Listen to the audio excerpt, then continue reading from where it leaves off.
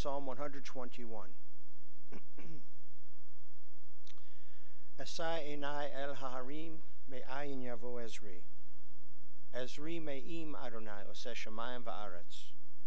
Al yitain lamot raglecha, al yanum shomrecha. Hine lo yanum velo yishan shomer Yisrael. Adonai shomrecha, Adonai tzilcha al yad yaminecha.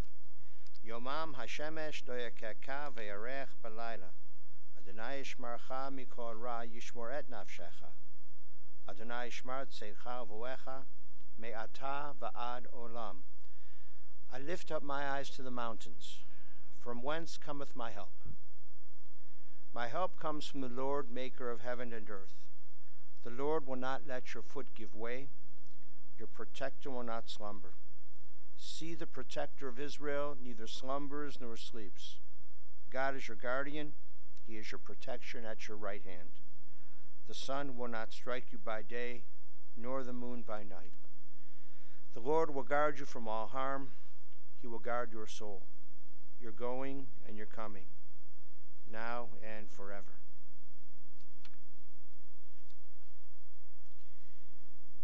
Death has taken our beloved Leonard Nyman. Friends grieve in the darkened world. In their silence there is lamentation. In their tears there is loneliness. Lost in their sorrow, may they find the presence of loving friends. Hear them, O God, and be with them. For Leonard's love that united so many people in life, and which death cannot sever, for his companionship that we shared along life's path, and which continues through the tenderness of memory. For the gifts of his heart and mind that brought joy and happiness, and is now a precious remembrance. For all of these and more, we give our thanks to God. Even in the fullness of Leonard's years, it is a time of grief. And so we listen once again to the voice of our sacred scriptures. It brings us the ever new message of God's nearness. It tells us of our kinship with the Creator, in light as in darkness, in joy as in sorrow, in life as in death. Together in the English, let us recite the 23rd Psalm. The Lord is my shepherd, I shall not want. He maketh me to lie down in green pastures. He leadeth me beside the still waters. He restoreth my soul. He guideth me in straight paths for his name's sake. Yea, though I walk through the valley of the shadow of death, I will fear no evil, for thou art with me. Thy rod and thy staff, they comfort me. Thou preparest a table before me in the presence of mine enemies. Thou hast anointed my head with oil, my cup runneth over. Surely goodness and mercy shall follow me all the days of my life, and I shall dwell in the house of the Lord forever. We have four people delivering eulogies for our dear Leonard. We begin with his daughter Susan and then nephew Mitchell.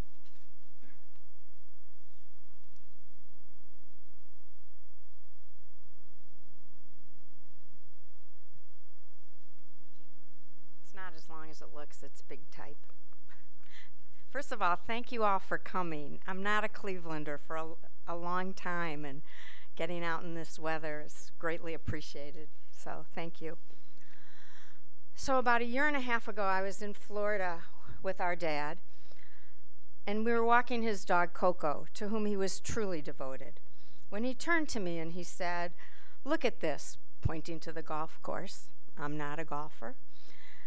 I would have never thought that growing up in the Depression, when we didn't even know just how poor we were, that I would be able to live in a place like this, that I would be able to golf whenever I wanted, and that I would have had four beautiful wives. I've been such a lucky man.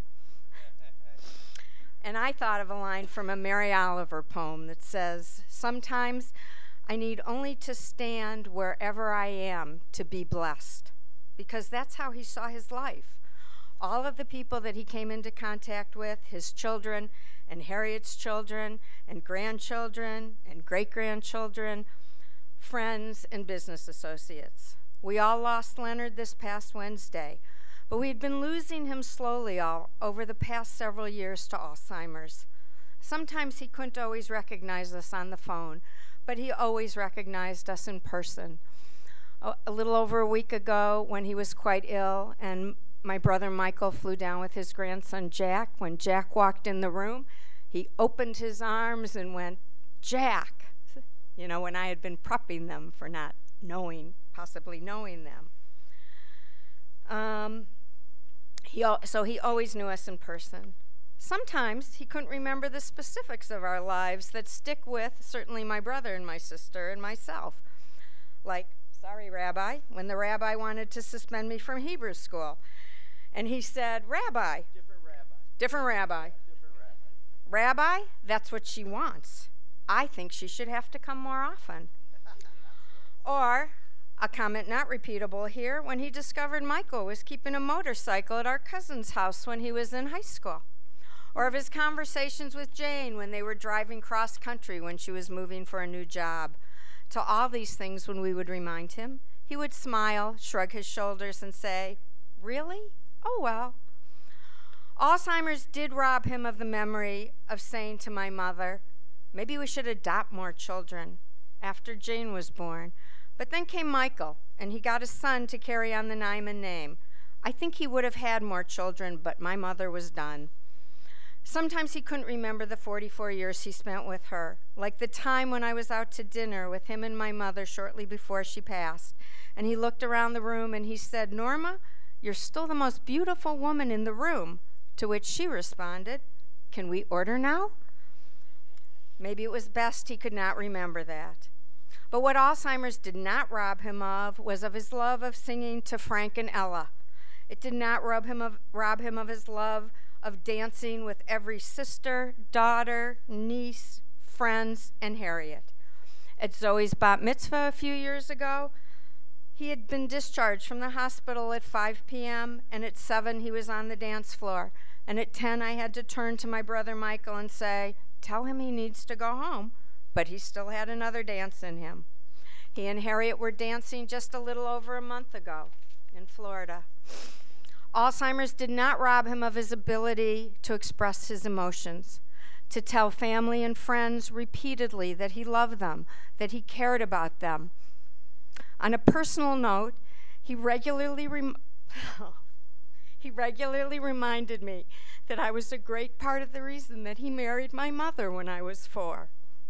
Alzheimer's did not rob him of his ability to be kind and caring, to relish the times he spent with nieces and nephews, young and old, his and Harriet's, to get down on the floor to read with them, to play with them, to always keep up with what was happening in everyone's life, to go to every bar and bat mitzvah or wedding. Thank you, Jennifer and Mitchell.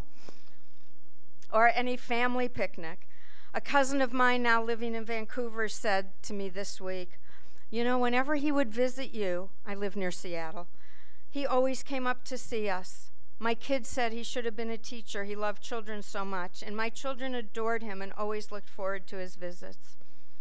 Alzheimer's did not rob him of his memory of his time in the Army Airborne during World War II as a paratrooper. I could never imagine him jumping out of a plane. He wore his 11th Airborne hat proudly until he died. He laughed and shrugged his shoulders when we told him, you know, the only pictures we have of you in Japan was of you with your arms around young Japanese women, which probably started a pattern for him. When we showed him pictures of himself in uniform last week, he smiled and whispered, I was so good looking, I should have just stayed in LA and been a model or an actor. We were glad he didn't. Alzheimer's did not rob him of the fondness he had for his sisters, always feeling responsible for and devoted to all four of them because their father died when they were young.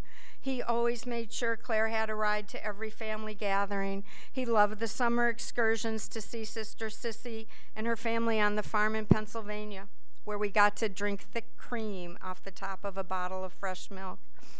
He later moved to Delray Beach, where his sister Judy lived, and saw her weekly bringing her lox and bagel sandwiches and a chocolate pastries.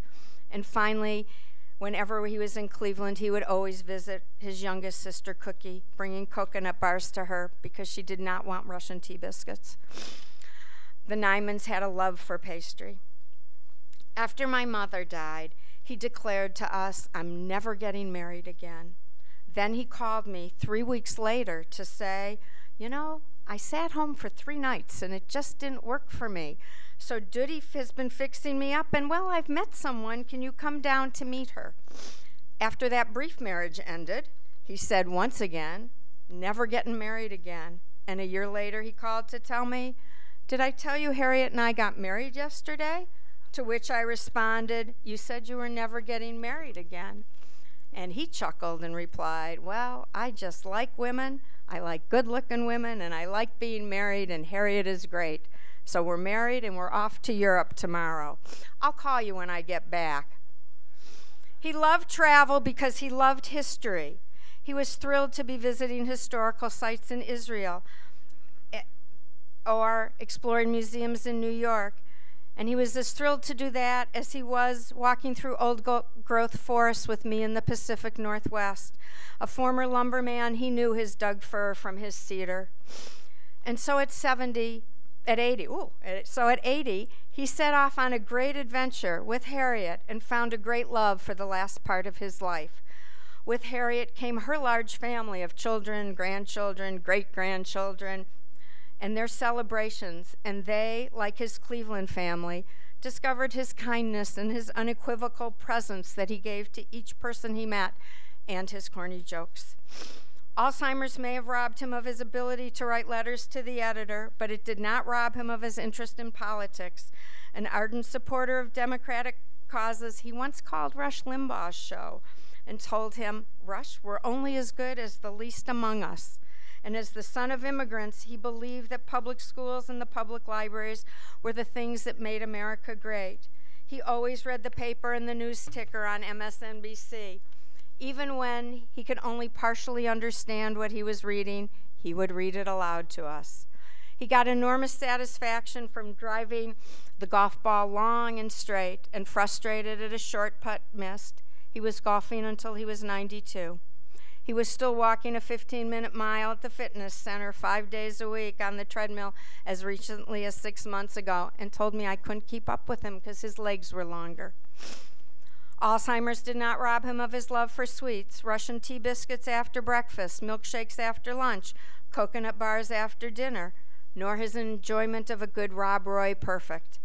Harriet's friends in Florida who supported us these last two weeks alternated between describing him as kind, as wonderful, as sweet and loving, and my favorite, delicious.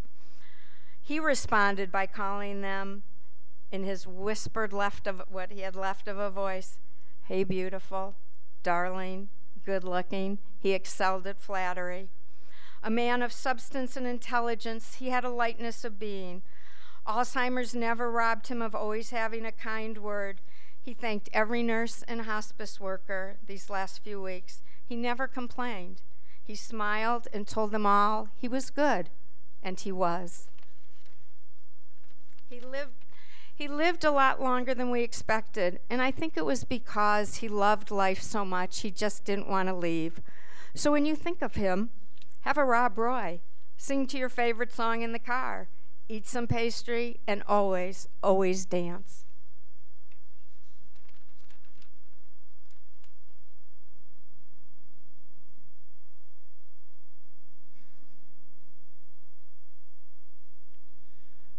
After Mitch, after Mitchell, Robbie's coming forward, and then Terry's coming forward. So please do.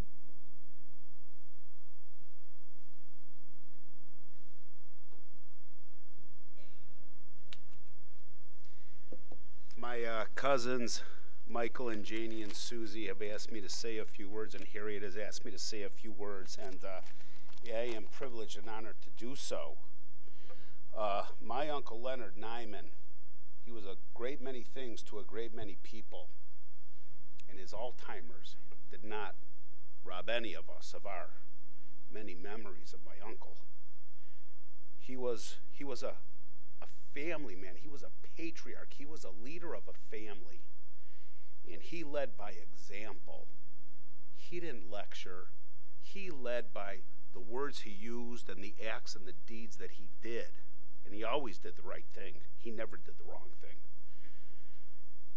I have so many memories from Byron Road when I was a child, and Michael and Judy and Jeffrey and the JCs from Detroit, Jimmy, Jennifer, and Joanne, we were all kids. And those Seders, it was like it was like organized chaos, a cacophony of everything from our beloved Grandma Molly, the Kaplans from Detroit, Joan and Sidney Halper, Halperin, Uncle Sidney always instigating Michael to do something that would always inevitably get him scolded, if not cracked across the top of his head by my Uncle Leonard. And Jeffrey and myself and Michael, we, we always ended up in Michael's bedroom hatching some very ill conceived harebrained plan to go downstairs and irritate all the adults, which was not hard to do. We did it and we loved it, and I'll never forget those gatherings. And, and, and it was beautiful, it was great. Just an innocent time long ago. The loss of my uncle is the passing of an era. It's not just the death of a loved, beloved uncle and great uncle and grandfather. This is the passing of a time that doesn't exist anymore. Never a foul word came from that man's mouth. He didn't need to use that kind of language to get his points through. I did see him lose his temper a few times, and again, usually directed towards my cousin Michael. but so he was a leader. He was a leader of our family. He was the leader of the Nyman family. He was a patriarch. And he set a wonderful example of how to live my life through good, hard, honest work and family first. That's what that's what Leonard Nyman was all about. He was a man's man. He was a family man. He was a man's man. He came up through the construction trades in Cleveland, Ohio, at a pivotal time for organized labor. And let me tell you something. If you weren't in that, if you weren't in that segment, the labor movement in Cleveland was one of the epicenters of the labor movements in Cleveland. And my Uncle Leonard dealt with those union organizers and those business agents no differently than he dealt with his laborers and carpenters, and no differently than he dealt with the wealthiest landowners in Cleveland that he was going to build something for because he was a genuine guy. He was a real man. He would make his points known just by being himself. He didn't have to use foul language. He didn't have to lose his temper to make his points known. He was always genuine. He was always real. There was nothing phony about this man. He was a big brother. He lost his father at 17, and that affected him deeply and greatly. And he gave back when he got his life together. And he had his family, he gave back to the big brothers, and he mentored many a young man through the difficulties of life without a father. And it was a very inspiring thing to see for me as a 17, 18 year old when I started to realize what a great man this was. And uh, I think my cousin Susie kind of touched on it a little bit. He was a little bit of a ladies' man.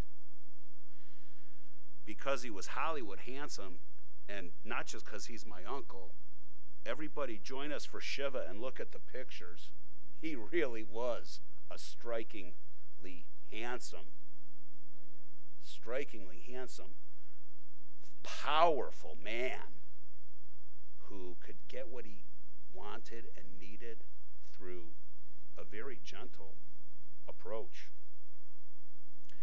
My uncle was always surrounded with beautiful, by beautiful women from, from the minute he was born, from our beautiful and beloved memory, Grandma Molly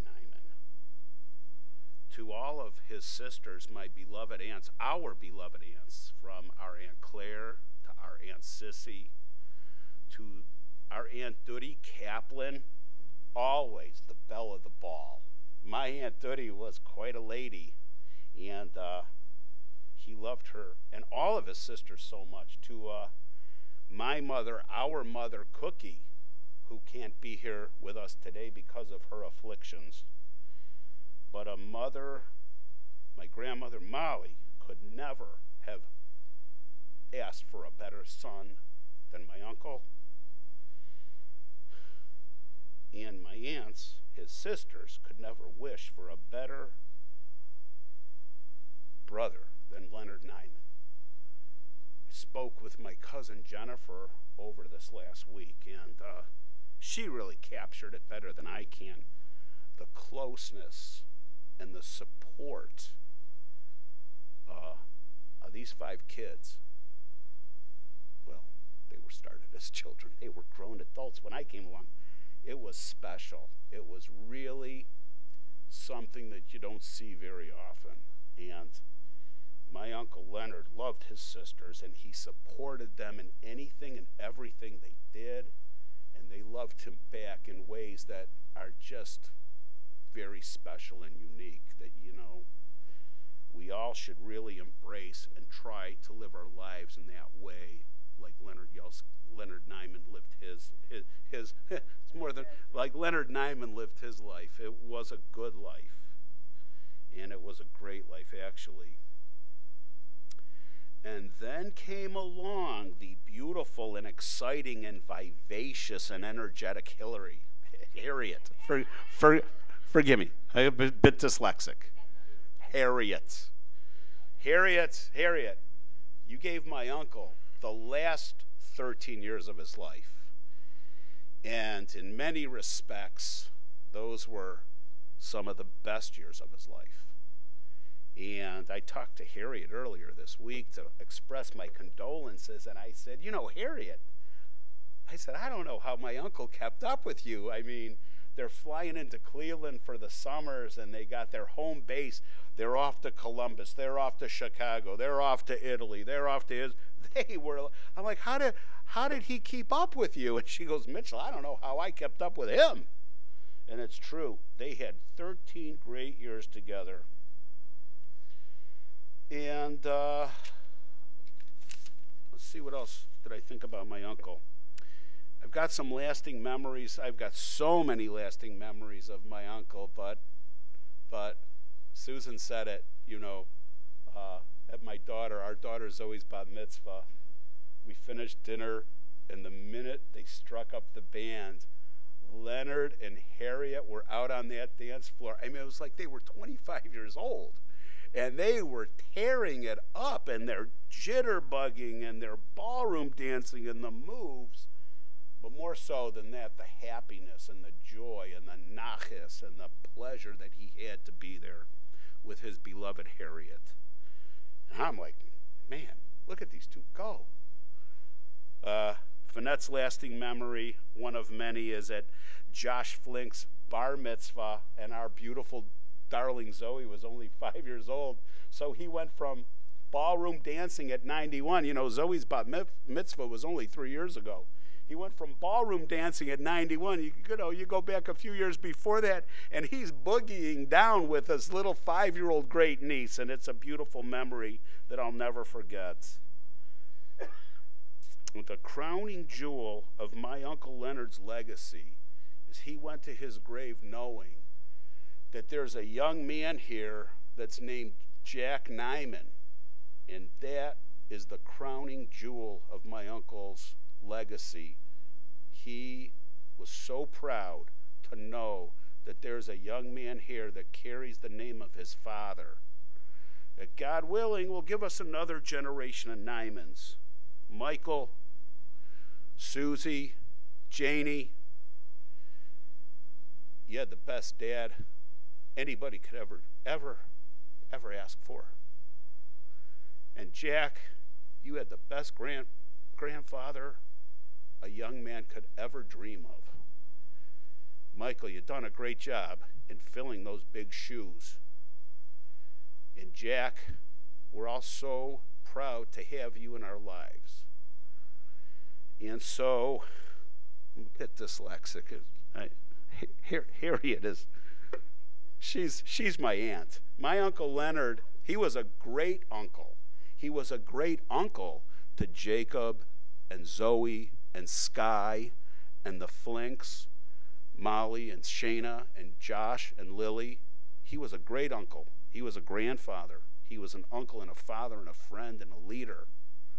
But he was a great uncle in like mighty and important and meaningful and real and a, a, a, a better man I could never, ever have known and been blessed to have in my life. So, cousins, thank you for having me up here.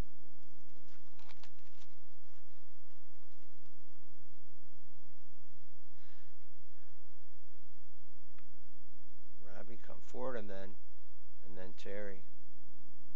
And so far, to all of those words spoken as a prayer, let us say Amen.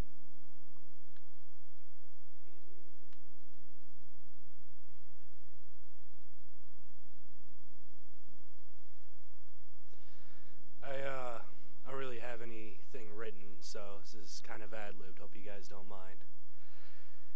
Man, anytime I think of Leonard and Harriet, I think of one time when I was in high school. Scott, my little brother, was in middle school, and we uh we got into the ice cream, and we only had a little bit off the top, but Harry and Leonard heard of that, and immediately they were like, "Oh, you guys gotta ask for the ice cream first, and they go off on us, and finally Scott and I just have enough. We're like, all right, we hop in the car, we go buy them all new ice cream, get back, and now we're just mad at them. We're like, you know what? Whatever, we're never eating your ice cream ever again. And at first, you know, I was like upset. I was like, well, why do you care about ice cream so much? You know, it's just a little bit. We didn't eat all of it. But it was the principle of it. They're teaching me and Scott to be responsible, to be adults. And that's what that's what Leonard, that's what Harriet, that's what Michael, that's what Jane, that's what Sue, that's what all of them have done our entire lives. You know, when I first when I first met the Nymans, you know, I wasn't family wasn't in the greatest place. You know, we were kind of poor.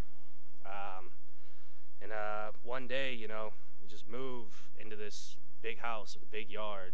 I hear my mom has a new boyfriend, and I'm gonna have a new brother. I'm like, what? What's going on? I don't know this guy. You know. Meet Mike.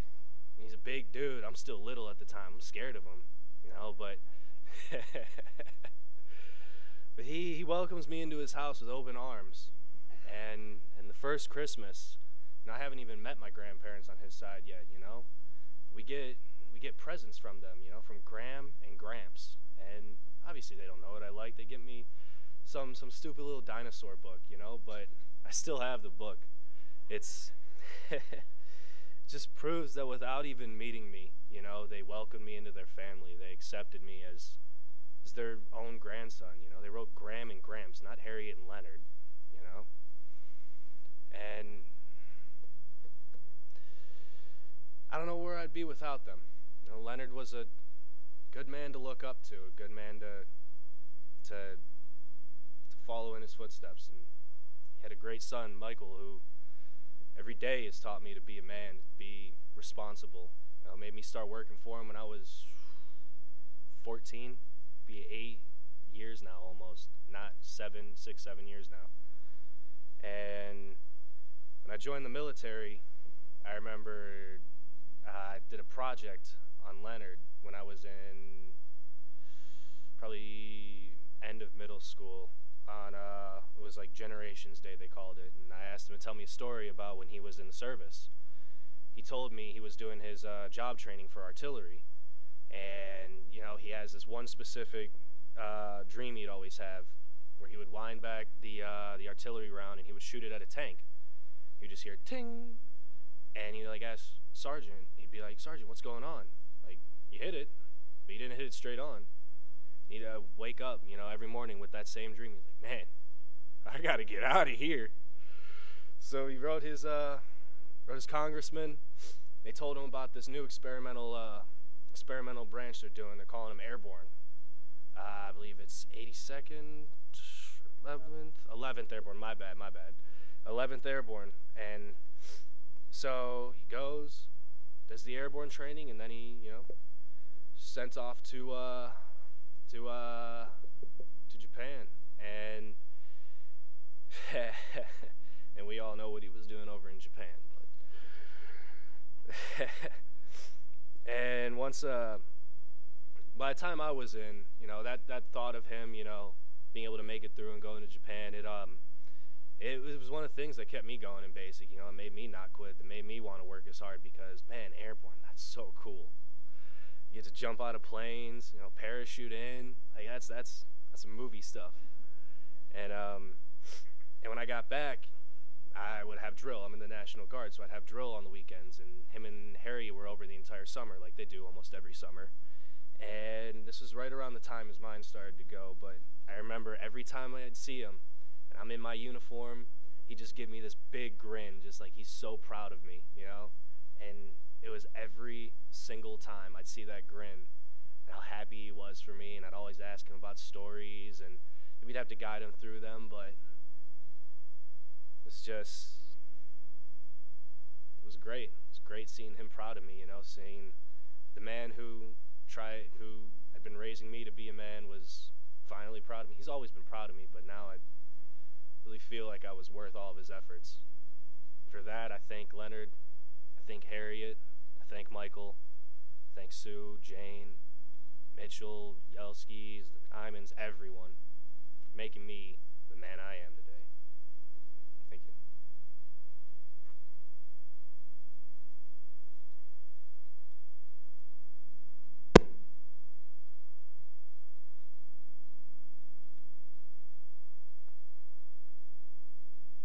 and Terry and the rest of them.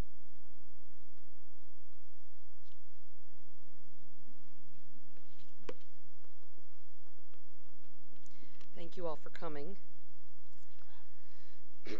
Nobody's ever told me to speak up. this is true.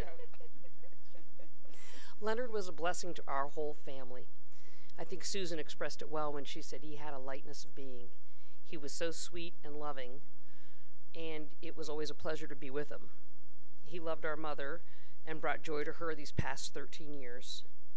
He shared his love with all of us. He shared stories and his wisdom generously, and we loved being with him.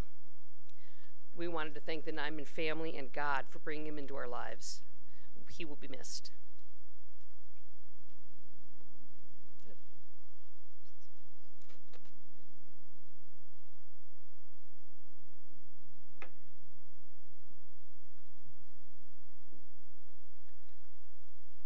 And now to all of those words spoken as a prayer, let us say Amen. It seems that each time I am privileged and honored to do a funeral in this family, uh, the whole eulogy that I've prepared, I don't have to deliver. So just let me say one thing and then I'll just say Amen. Leonard is a, a reminder of a, a portion in the Torah we're coming up to soon. We're in the book of Exodus now. And in another several weeks, we're going to be reading Exodus chapter 35 and 36. And it's when our ancestors were um, told to bring the materials to do the construction on the tabernacle. So, construction, Leonard, the family. And our ancestors are commanded to bring materials for the construction. Why do they need to build a tabernacle? As they're schlepping through the wilderness, it is a portable temple. They camp, they set it up. They break camp, they take it down. So you have to have good materials. It has to be constructed well. It needs to be beautiful and it needs to be functional. So our ancestors are commanded to bring materials for the construction, and they are bringing, and they bring, and they bring, and they bring, the Torah says in Exodus 35. And finally, in Exodus 36, verse 6, there was just one problem. Our ancestors didn't know when to stop bringing the materials. Let no man or woman make further efforts toward gifts for the sanctuary. This doesn't usually happen in building funds. You know, you do a building campaign, people, they don't want to give. It's not that they want to give too much. The point of Leonard is that just like our ancestors didn't know when to stop bringing, same with Leonard. He didn't know when to stop. He didn't know when to stop being loving. He didn't know when to stop being generous. He didn't know when to stop paying for lunches. Whenever you went out to lunch, he would pay. Right? He didn't know when to stop being a loving husband and grandfather, brother, all of those things. And thank God he didn't know when to stop. So his loving memory will be with us. Adonai Natan v'Adonai Lakach, Yehishem Adonai Mavarach, the Lord hath given, the Lord hath taken away. Blessed be the name of the Lord. And together let us say, Amen. Please rise for the El Malay Rachamim prayer, and then we will go in procession to the cemetery. It's cold outside, so the reason we did the military honors here is it's cold outside, really cold outside. And when we get to the cemetery, we will lower the casket. We will we will lay his body to rest briefly. It will be brief, and then we'll gather back at the uh, at Abby and Michael's house, and it will be warm and loving, and there will be beverages, and there will be food, and we will continue to talk about Leonard, but it'll be warm and dry. And they'll be there tonight until 8 o'clock, and tomorrow from 12 o'clock to 6 o'clock. And we'll do Kaddish for Leonard every Friday for the next month at Temple Israel Ner Tamid. And the kids in religious school will do Kaddish for him, and the kids in Hebrew school will do Kaddish for him because the kids need reps on the Kaddish. And um, it's a man certainly worth saying Kaddish for. Into your care, O God, we entrust the spirit of Leonard Nyman, for you keep faith with your children in death as in life. Sustain us we may meet with serenity the mysteries that lie ahead, knowing that when we walk through the valley of the shadow of death, you, O God, are with us, a loving friend in whom we put our trust. You are the light of our life, our hope in eternity. El male rachamim, shochen bamromim,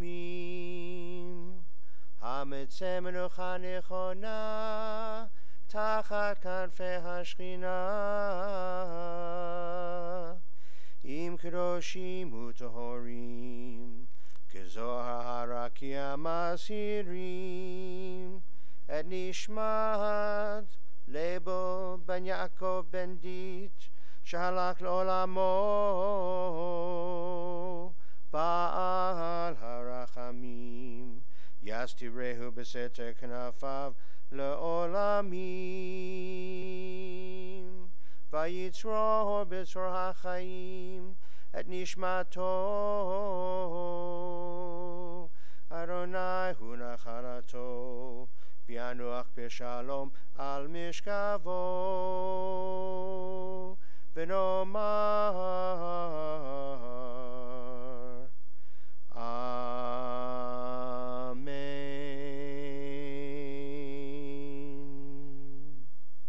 Compassionate God, eternal Spirit of the universe, grant perfect rest in your sheltering presence to Lebo ben Yaakov ben Dit, to our dear Leonard Nyman. He has entered eternity. O God of mercy, let him find refuge in the shadow of your wings, and let his soul be bound up in the bond of everlasting life. God is his inheritance. May he rest in peace, and let us say, Amen. The gentleman will come forward now and give us instructions for the processional to the cemetery. If you're not going to the cemetery and you just want to come back to the house, about an hour and 15 minutes from now, we will be at the house.